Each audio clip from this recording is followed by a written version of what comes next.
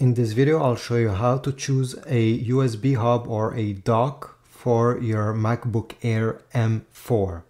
There are many docks on the market, as you see here. I have a few of them. They almost look the same, but they're very different and depending what you intend to use them for, some of them are trash and you should stay away. So let's get started. The MacBook Air only has two USB Type-C ports on the side. These are actually Thunderbolt ports, which makes them even more special since they can transfer at a much higher rate than a simple USB-C connector. If you simply want a USB hub to connect a keyboard, a mouse, and maybe another device that doesn't require data transfer, even the cheapest USB hubs like this one, this one I bought it from Amazon I think 10 years ago, that only has USB type A ports, not even a USB type A type 2 I think, will do the job. They're very cheap, you can find them anywhere. Look, this one as well, does not even have a brand. So for everything that is not, it's not about transferring data, these are doing an okay job. The only thing is that these docks, especially old ones, are only USB type A, so you'll need an adapter USB type A to USB type C to be able to connect them.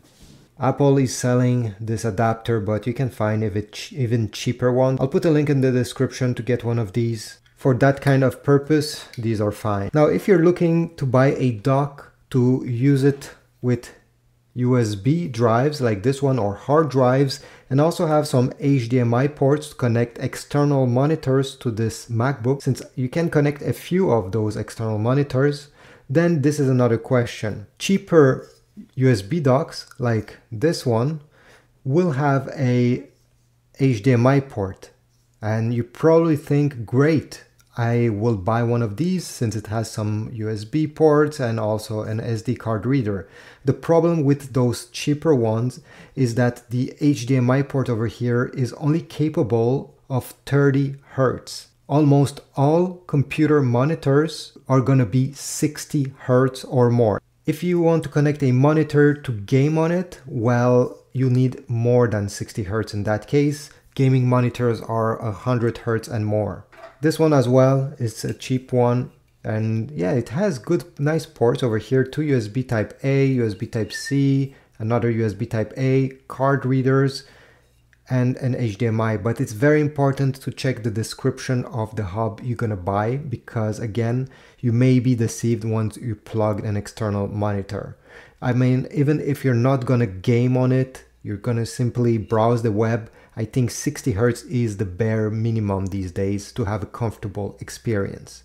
This is why I recommend getting a Thunderbolt dock or USB hub, depending how you want to call it, if you want to connect external drives and external monitors.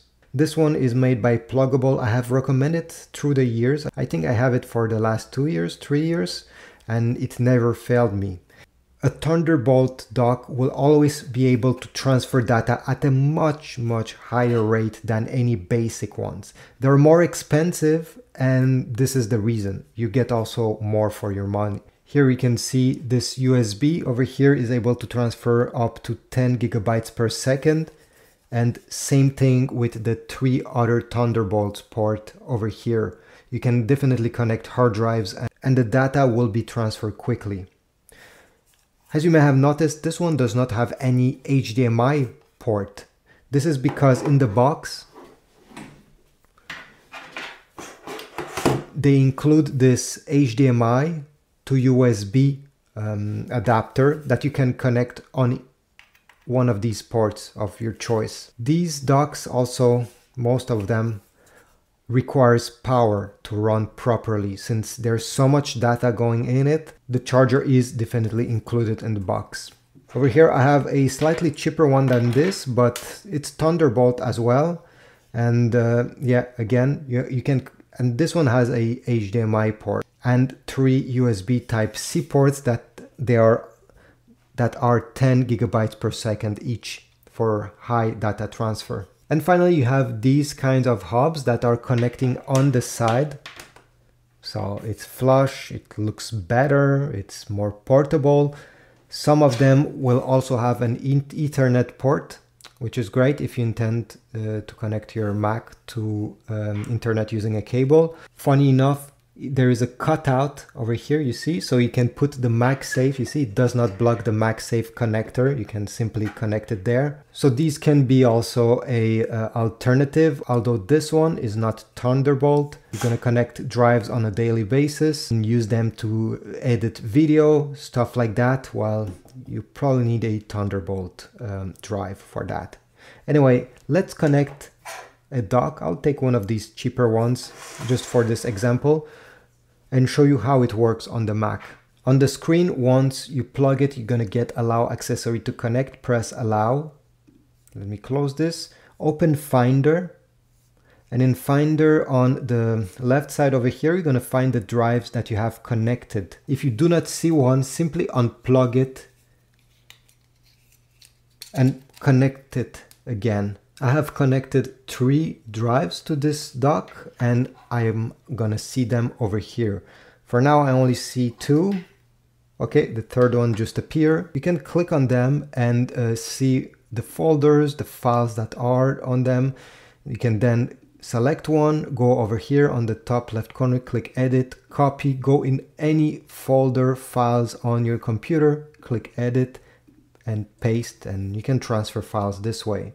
If you want to format one of the drives that you have connected to your USB hub, you'll need to go in the Launchpad to see all the applications that are on your Mac.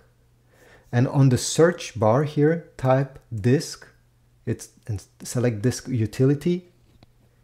On the left side, all your drives will be here. And if you want to format one, select it and then press erase give this a new name or keep it the way it is, select the format you'll want it to be, click erase and it will format your drive. Once you're done using your dock and um, with all the drives connected, you need to eject them first before disconnecting. Press this icon beside every drive that are connected to eject them. Once they disappeared from the list and from your desktop, it simply means you can unplug the dock safely. Sometimes it takes a few seconds. But overall, this is it. I hope this video was helpful. If so, please leave a like, subscribe, comment. Again, I'll put links in the description if you want to get the dock uh, hub, and I'll see you in the next video.